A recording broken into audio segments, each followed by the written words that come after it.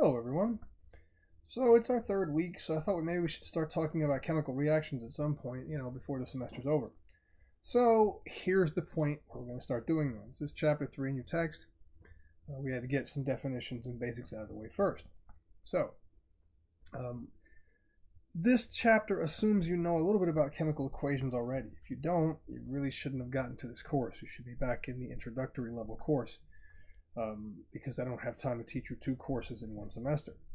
So some of this stuff should be reviewed. If it's not, be aware. So, first principle the idea of stoichiometry is a way that we talk about amounts in chemical reactions so that we can actually work with them. A chemical equation on a sheet of paper is one thing, being able to go in the lab and know the right amounts to put in and what to expect to get out is another. And so that's where stoichiometry comes in. And it all comes down to the law of conservation of mass put together by Lavoisier in 1789. Um, the idea being that in a chemical reaction, mass does not get created nor destroyed.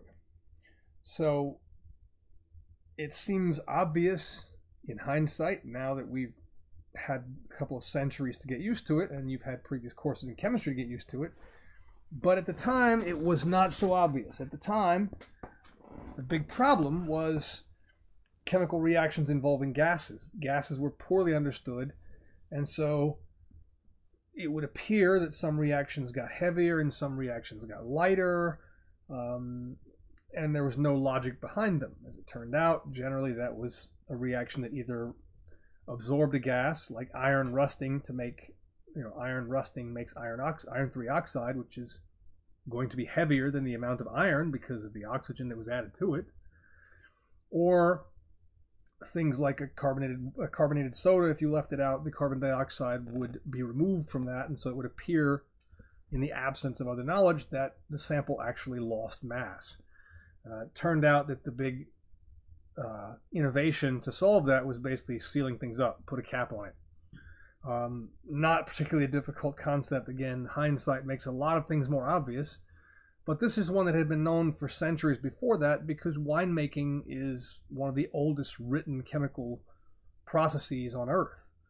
Um, and if you don't seal up wine while it ferments, what you get is vinegar. So it's a well known, literally millennia old concept that you need to close off some, what we now know as chemical reactions to keep air or whatever the ancients might have called it, you know, demons out. So we finally got there in the scientific terms in the 1700s that gases exist, and therefore, if we want to keep our mass consistent, we have to keep them from coming in and out of our reactions. So that's what that's part of what Lavoisier has uh, gets credit for is figuring out that you know if you want a soda to be good later, put the cap back on and put it back in the fridge, and it won't it won't lose all its fizz. So with that, we go to Dalton. We'll talk about another chapter and the atomic theory, which leads us basically in a straight line to modern chemistry. So, while it seems obvious to us now, at the time it obviously it was not, and it made a big impact on our ability to systemize chemistry. Chemistry at that point was almost just a set of random observations because if you couldn't trust mass, how do you interpret a chemical reaction? So somebody had to be the one to figure out how to make mass stay consistent. That answer happened to be sealing up reactions to keep gases in or out. So there are basically five real types of chemical reactions, and even one of those is not always referred to as a separate type. Here are three of them. Um, combinations, where we have something like this where we have multiple components coming together and we only get a single product.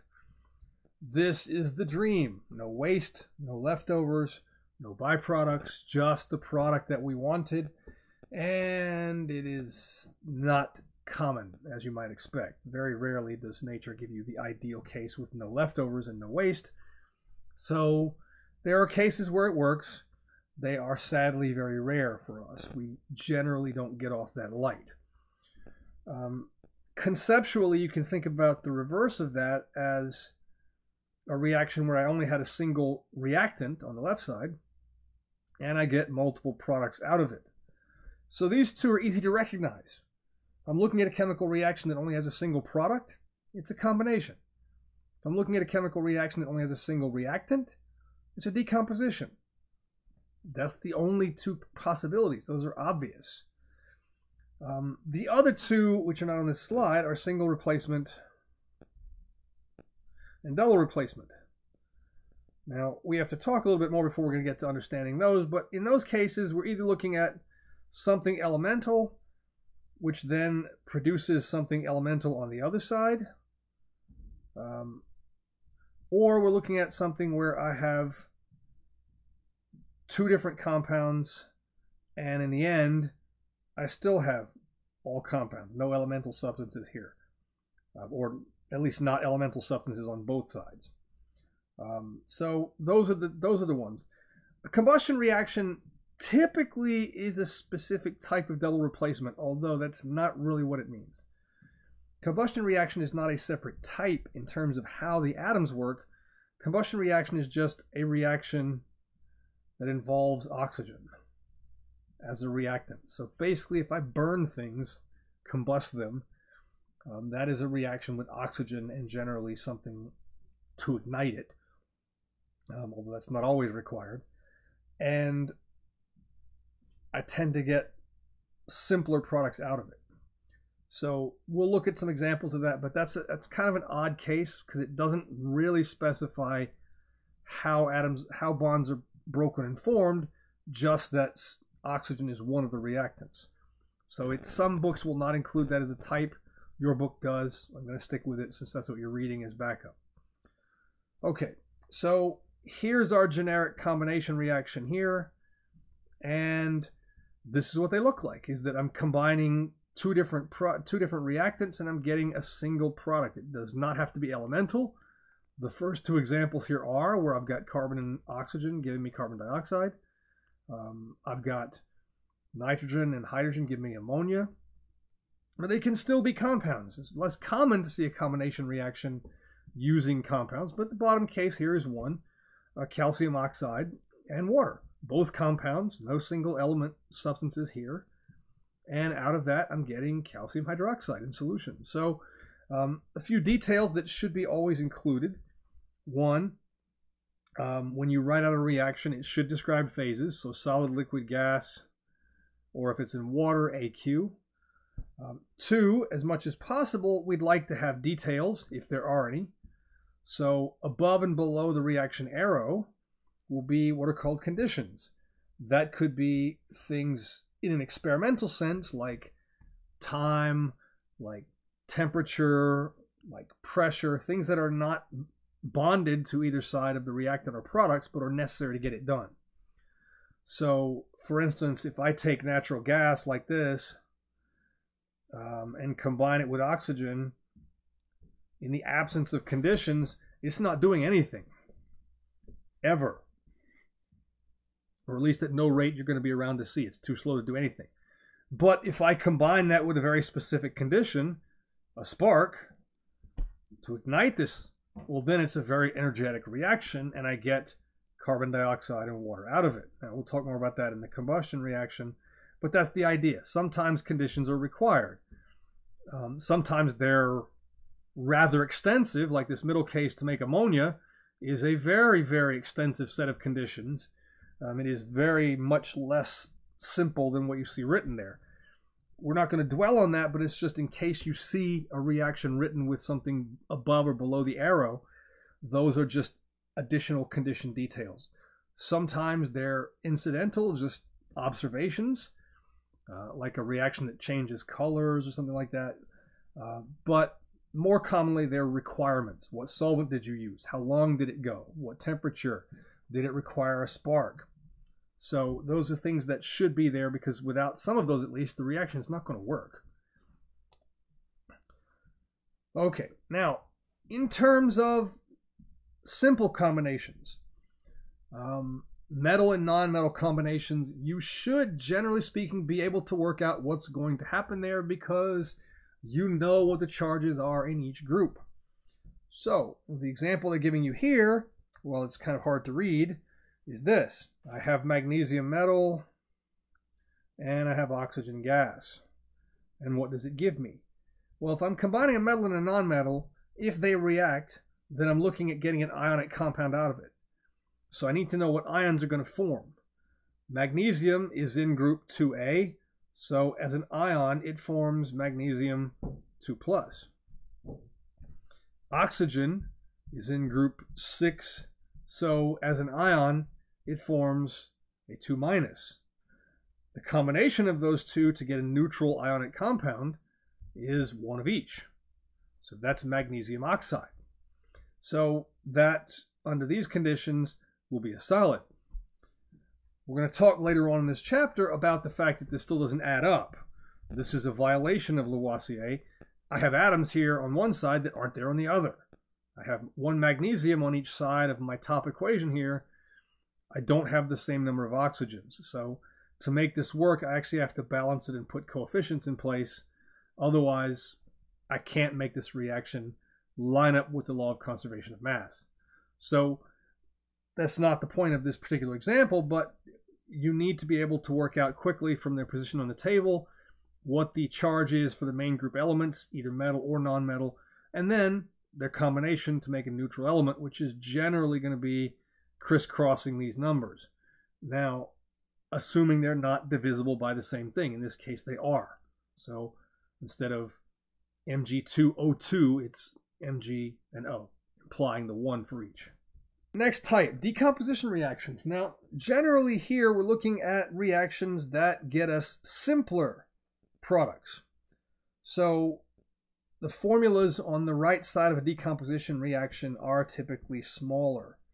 So look at the first example we're given here, KClO3, and I'm looking at much less complex, just KCl or O2 molecule. I'm looking at less complexion, less complex formula-wise and structure-wise products. So this tends to be very favorable. Um, complex things are generally going to head towards being broken down. It's a pro- it's a concept called entropy that we'll deal with in General Chem 2. Um, there's a lot more to it than that, but the idea is this is much more common than the magical combination we saw in the previous example, where we're only getting one product. A, single reactant breaking down is not all that rare. It happens a lot. Um, oddly, and I don't understand why they did this, they give you a great example of a decomposition reaction, the airbag here. They tell you what it is, but they don't include it as an example. That's just sloppy. This is sodium azide. Under the right conditions, it breaks down to sodium and nitrogen gas. The sodium can undergo further reactions depending on conditions. The nitrogen gas is released quickly and hot, and that fills the airbag, and so when you have an accident, you don't die.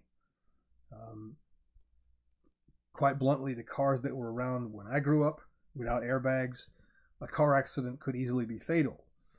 Now, a fatal car accident generally involves some really serious craziness, like getting hit by a truck or hitting a hitting a brick wall at 90 miles an hour. Um, most normal traffic car accidents now are generally not fatal. So, um, the airbag or airbags, depending on your car, is a massive safety improvement, and it basically is a really tiny amount of sodium azide, which is a which is a small explosive, um, in those little in those little bags uh, with a little bag over them, and as you if you collide with anything, a little electrical switch gets thrown, starts this reaction, and inflates the bag. Um, it's also why if you ever have an accident like that, you can't just replace the airbag easily because it is technically uh, shock sensitive explosive. So you can't really just expect the average garage to be going and banging it in there with a hammer. Um, that wouldn't end well. So it requires some specialty tools and skills to actually put that back in safely without anybody getting hurt. And it's usually just sold as a package for that reason. Anyway, a decomposition that's particularly useful and one which hopefully you never get to experience. All right. So, um, one more type we can actually do some predictions on is carbonates. If I heat up carbonates, you can kind of see what's going on there. I have a carbon with some extra oxygen detached. very likely I'm going to see something like carbon dioxide happen. And that happens with most carbonates. If I heat them up enough, I'll drive off carbon dioxide and I'll get left with just the oxide as my ionic compound. So um, we, we can use that in a number of different ways in terms of understanding what we had structurally, uh, what we had formula wise. Um, and if you're in the lab course, you'll actually talk about what that would look like rather than do it this semester. All right, next type combustion reactions. Um, as I said, this is basically reactions with oxygen and uh, generally some ignition source. So again, they're giving an example and not telling you what it is. This is propane, C3H8 as a, as a gas. If I combine that with oxygen, and a condition of a spark, uh, what I get is carbon dioxide and water. So if you look at it on its face, it looks like a double replacement. One carbon, the carbons ended up with an oxygen, the H's ended up with the other oxygen. So it is kind of double replacement ish, uh, but it's more complicated than that. So that's why your book has chosen to kind of leave it on its own as a combustion reaction. Um, actually what's going on there is much more complex than it looks formula wise because this is a relatively complicated structure and you have to break basically every bond in it. Not basically, you have to break every single bond in it as part of a combustion. So it is uh, a lot more complex than the formulas would lead you to believe. We'll talk more about that when we get to uh, molecular structure in terms of understanding some, some different types of reactions. All right, so here's the version of that that I said they didn't provide, so that's what I get for not going forward a slide and just keep ranting.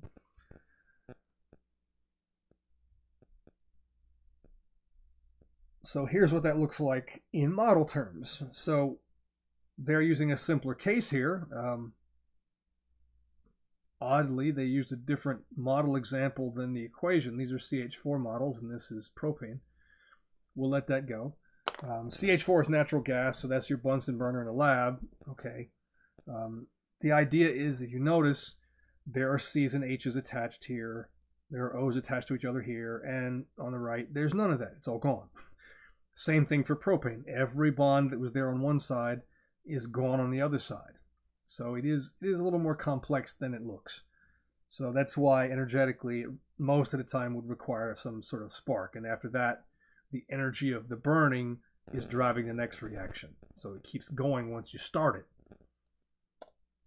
When we want to talk about quantities, though, which was the, the topic of this chapter, first we need that balanced chemical equation.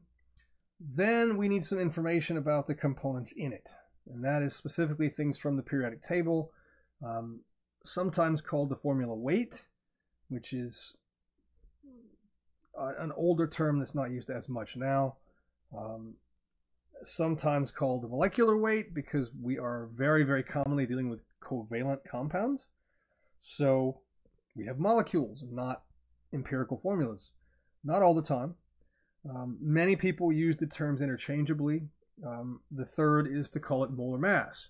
So we'll talk about that one a little bit later because in these cases, we're still in the magical AMU units. Now, what's an AMU unit? So if I'm looking at the periodic table and I have my basic pieces of data, the atomic number and the atomic mass, well, the atomic mass is reported in atomic mass units or AMU. That doesn't help me when I walk into a lab. I don't have anything there I can actually work with in a lab setting. It doesn't tell me anything. So this is where we get to the mole. Now, we will never actually use this number, and it's not even written correctly. This is not even correct. It should be 6.02. Um, we will never use this number in a calculation. If you find yourself writing this out, you've already missed the question. I refuse to ask them because uh, generally we don't care about how many atoms or how many molecules are in our substance with rare exceptions. I'm not interested in those exceptions. So we're not going to be bothered with that. We need conceptually to understand what it does. So here's what it does it allows us to take that molecule with its atomic mass unit units for this actual formula or structure and convert it to something we can weigh in a lab, which I horribly just wrote right over. So that's 18.0 grams for one mole. So it allows us to actually have a mass, something we can weigh. Remember those five things we can measure that we deal with in chemistry all the time? Uh, temperature, time, volume, length, and the last one, mass. So we need that. Now, our chemical equations will get us moles. So we'll have this from the equation itself, at least a ratio of it. And then we can go directly to a balance in the lab and begin to work because we can get a mass to work with. So this is where the third term I mentioned comes in, molar mass, is that we're dealing with the atomic mass, the formula weight or the, the molecular weight converted to grams per mole units. Um, as I said, many people use these terms interchangeably. Uh, realistically, this is the one you should be using all the time. And, you know, occasionally I will slip up because I learned it the other way.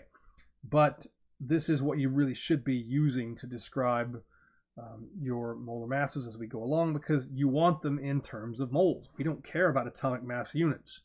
We need things in terms that we can use so that we can go to a lab and actually do the reactions instead of just writing things on paper. So, next on our list of, for the moment, slightly disconnected topics is something called percent composition. And it looks like this.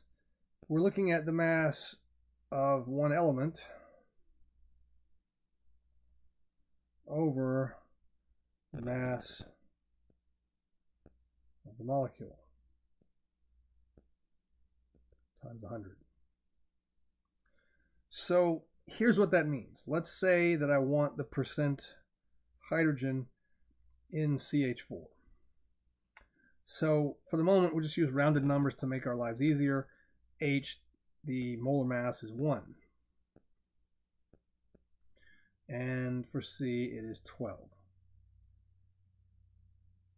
Which means for CH4, it is 16. So here's what that looks like.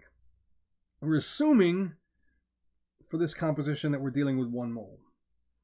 So what that means is that in this formula, CH4, I have four hydrogen hydrogen atoms and so I'm going to put that down for, for one mole one mole of CH4 gives me is has four moles of H. So if I say that here 4 moles of H times 1.0 grams per mole for H.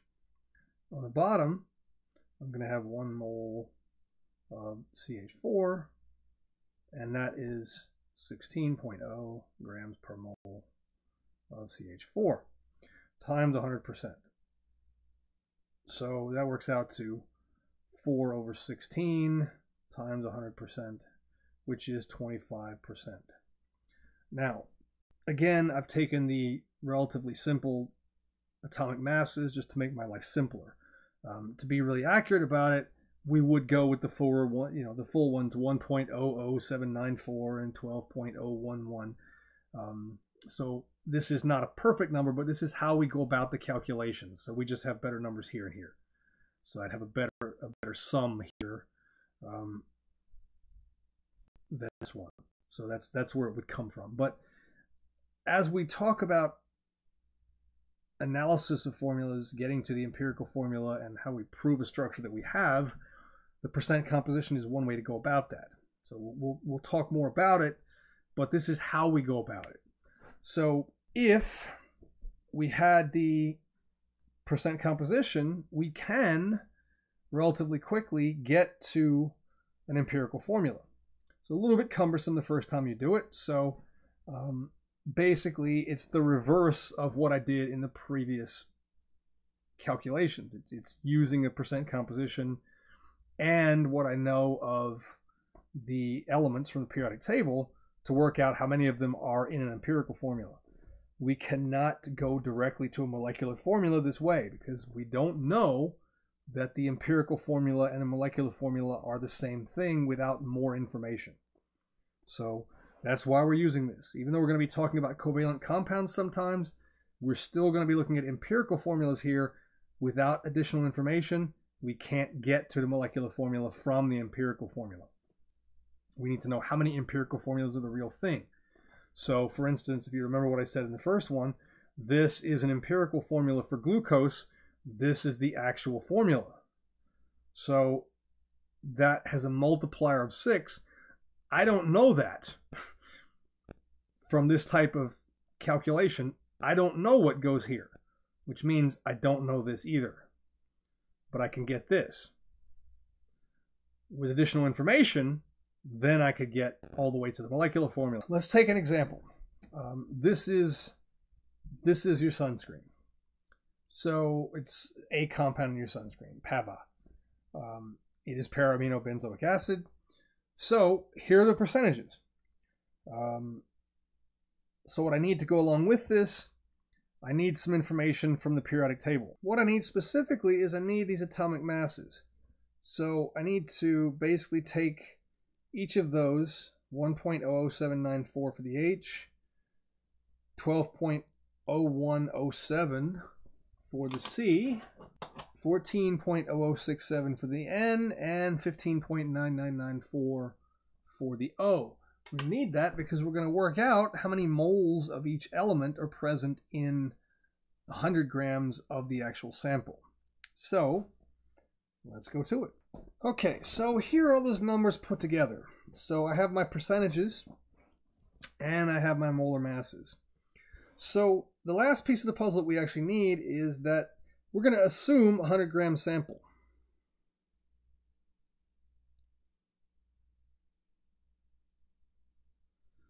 So our problem's going to look like this. I'm going to have c to the x, h to the y, n to the z, and then O to the A. So I need to solve each one of those separately. First, I'm going to take these, if I'm using a 100 gram sample, that means that each of these is just grams.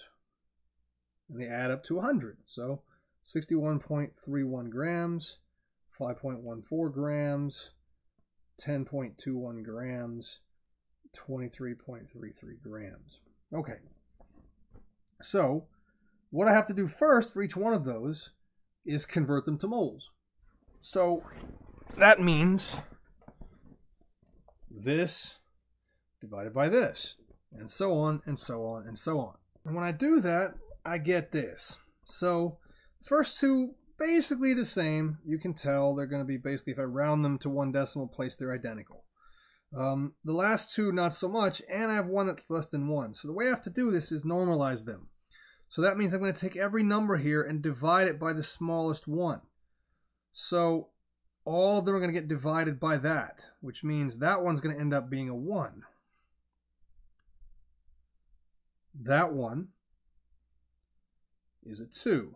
Specifically, it's 2.000 uh, 00005. So, you know, I'm pretty sure we can say that's 2. This one is 6.996 and this one is 7.003. So I have to be a little careful with this. We are going to round these to integers, but we don't do that until we're basically at an integer anyway. So in terms of percentage, you can see these are all almost dead on an integer. I'm not really doing much to say, all right, I'm going to say that's a 7 as an integer. I'm going to say that's a 7 as an integer. I'm going to say that's a 2. I'm not rounding off much. That's a lot different than trying to round off here in the middle. You can't do that. It's clear that some of those are nowhere within miles of being an integer.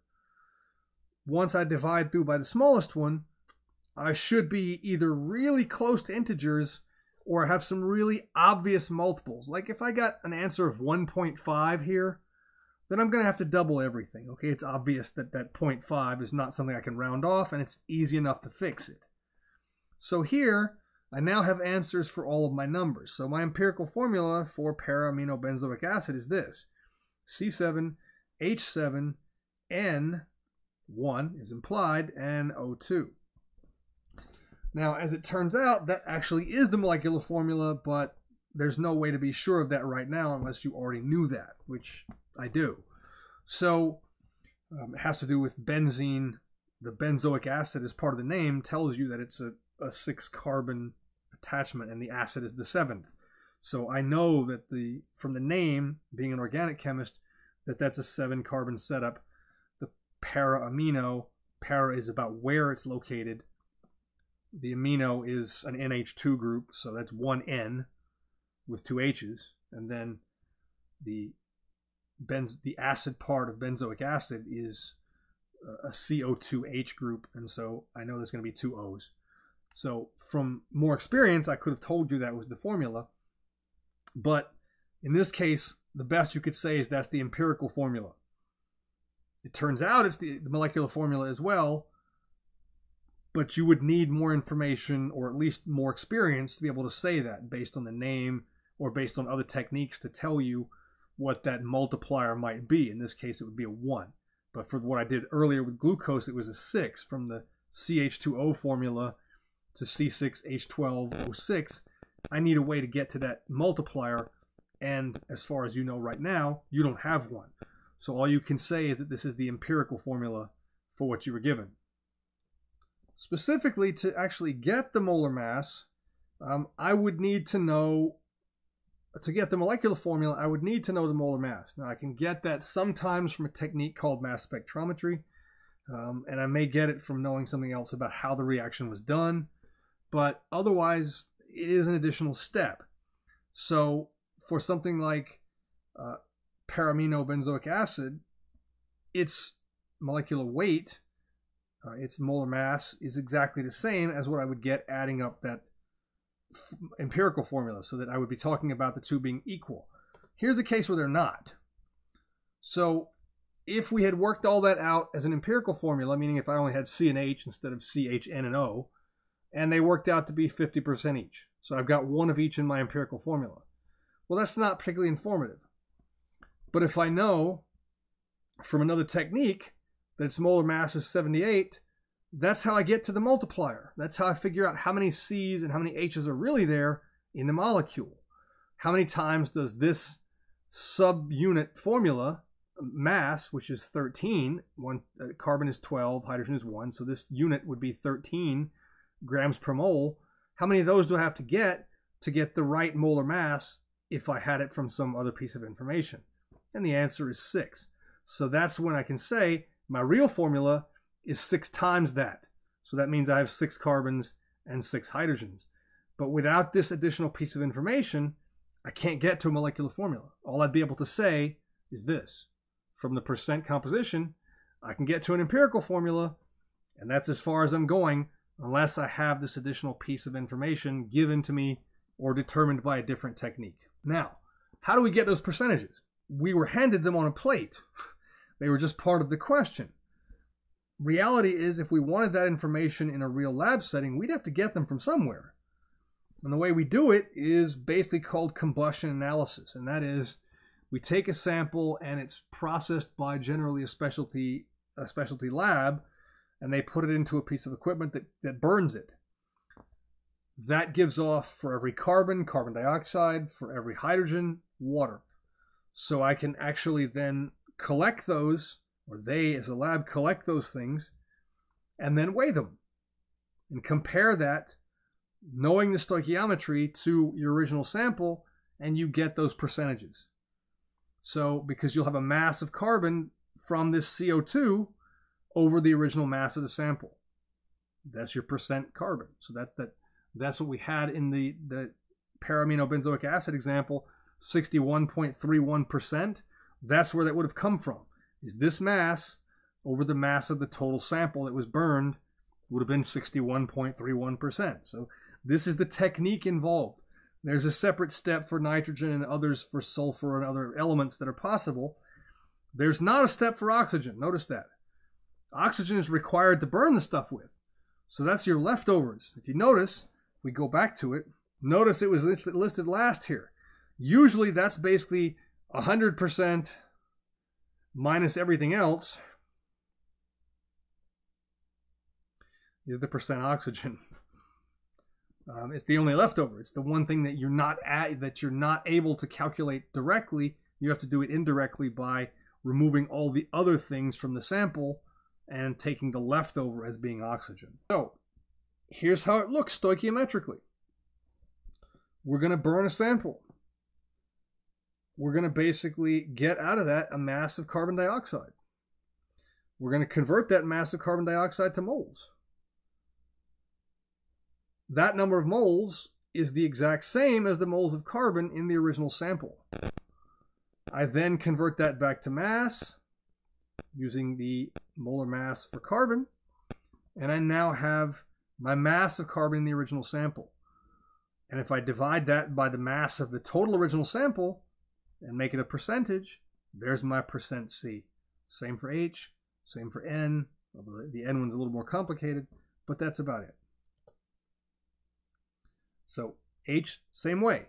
Water, moles of hydrogen. Here they're not exactly the same because there are two H's in one water molecule. So I do have a multiplier here.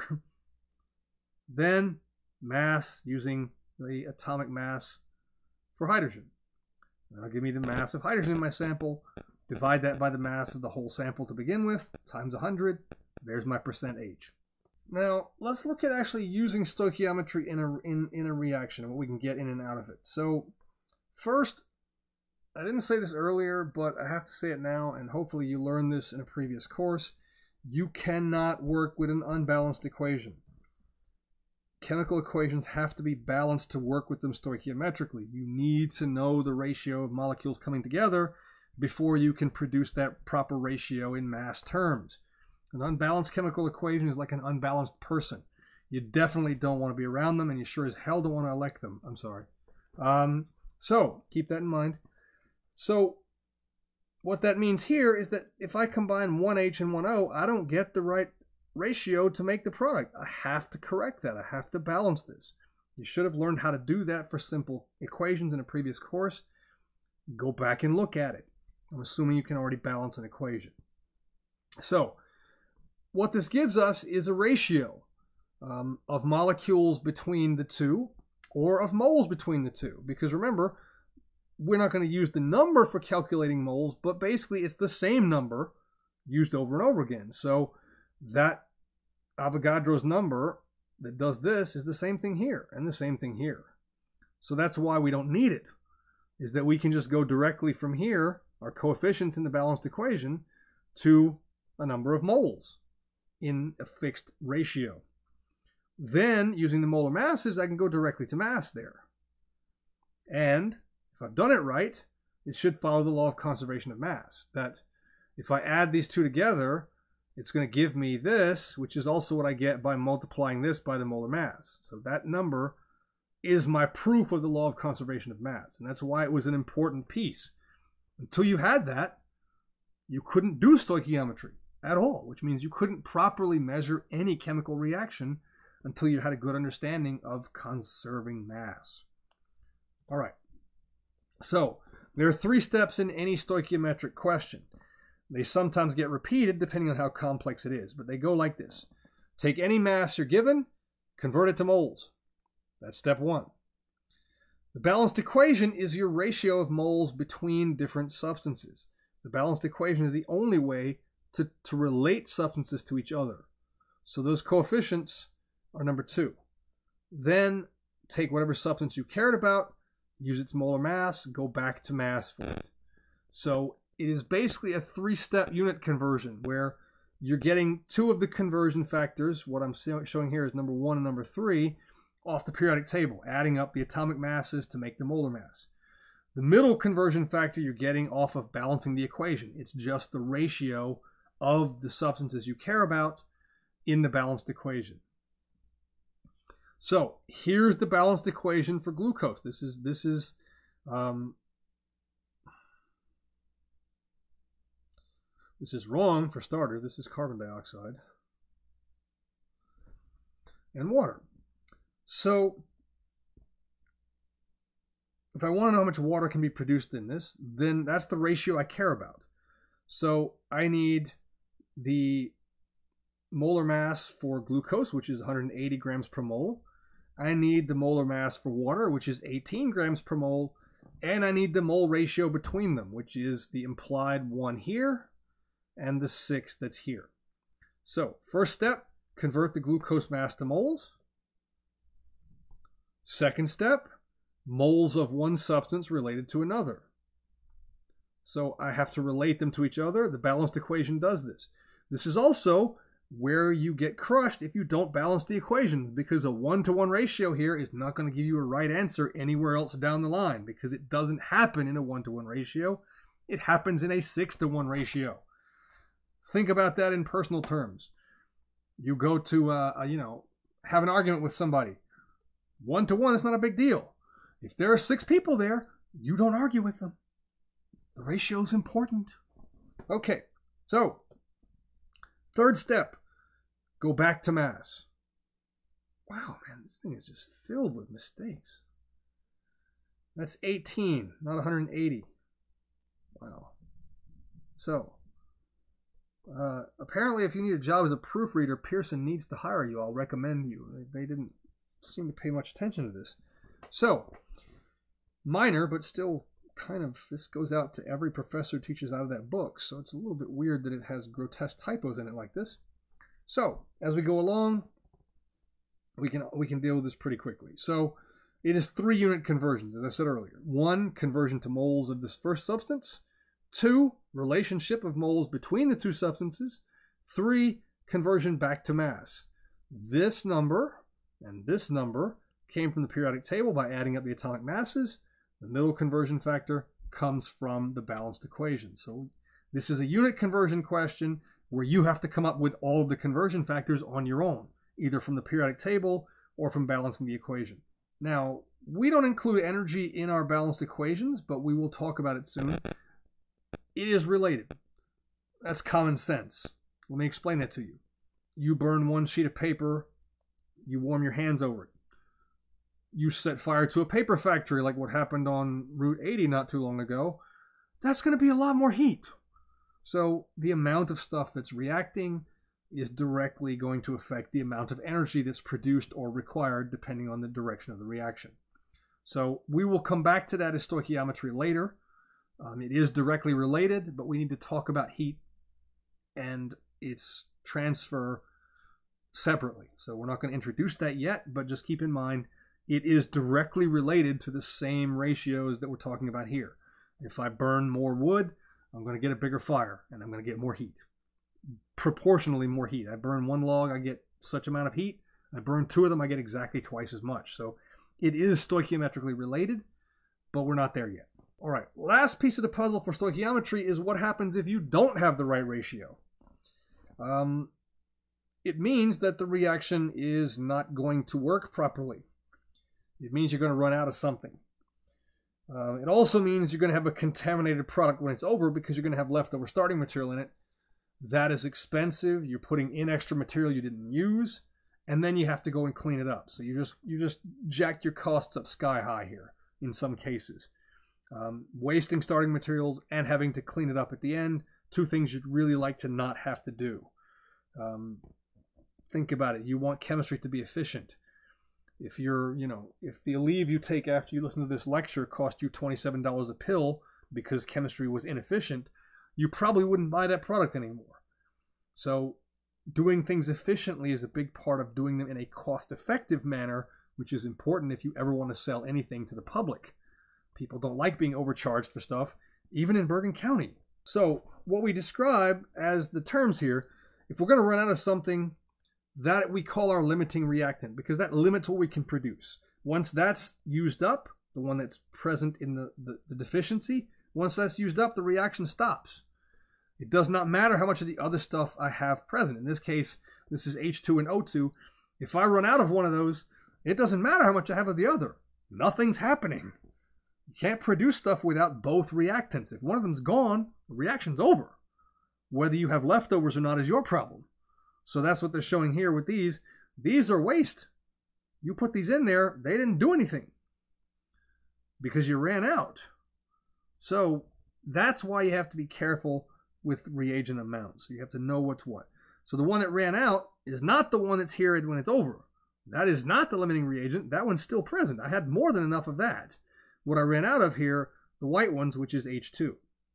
So I have left over O2 because I didn't have these in the proper 2 to 1 ratio from the balanced equation. I had them in a 10 to 7 ratio instead. So the 2 to 1 ratio would have been 10 to 5. So my balanced equation, I would have had 10 of these, 5 of these, there'd be no leftovers.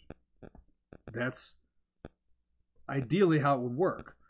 There are legitimate reasons to push this. Occasionally, we can speed things up or make reactions work better by overloading them. So it's not just it's not always about being sloppy that you didn't measure them out properly in the right ratio. There are reasons to do it. But it does present a problem. You're wasting material going in and you got to clean it up coming out. So even if there's a legitimate reason to do it, it's still a pain because you're putting in more that you're not getting the, the product out from, and you're cleaning it up afterwards, which is labor and sometimes extra chemicals that you got to you got to pay for. We don't usually talk about the excess reactant, but that's what we call it. There's more of it than I need, so that there's some left at the over. So I had an excess of it, like I have an excess of debt. The leftovers don't determine what I can make. What limits my ability to make stuff is the limiting reactant, the one that runs out. Again, when that runs out, the reaction's over. I don't care how much, whether I had two extra oxygens or I had two billion of them, I'm not producing another molecule of water if I don't have any H's. So that's the leftovers don't concern me in terms of how much product I could actually get. I'm limited in what I can produce by what runs out of my reactants. So the limiting reactant, the one that's used up completely, is what I use to determine all my calculations for how much product I can actually get. Last couple of number things we're going to talk about. Um, when we look at a reaction in practical terms, we need to consider three things. One, stoichiometry calculations will give us this, what's called a theoretical yield. That is what's possible. Assuming everything works perfectly, that's what I would get. Spoiler alert, you never will see that be the right amount. Because nobody's perfect, nobody measures perfect, and you never recover 100% of what you put in. Even if the reaction is perfect, you're not. Your equipment is not. So you will basically never match that.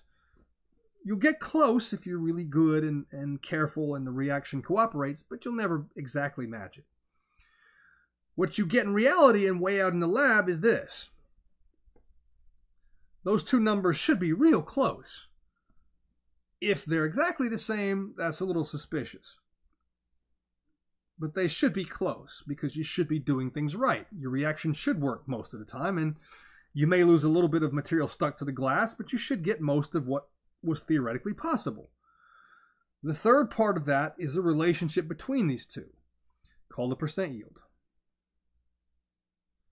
is what I really got as a percentage of what I should have got.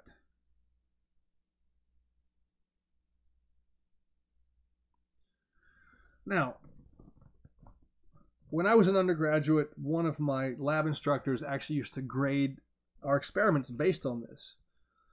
So if you got a terrible yield, actually, then you got a terrible grade because the reactions were all chosen to be ones that worked well. So we knew you screwed up, or he knew I screwed up. Either way.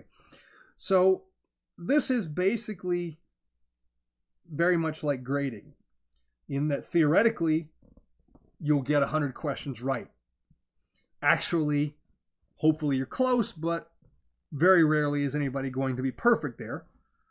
And then we put it in as a percentage. So if you get half the questions right, 50 out of 100 times 100%, you got a 50% exam score. Same concept here. What you actually got versus what you should have got as a percentage.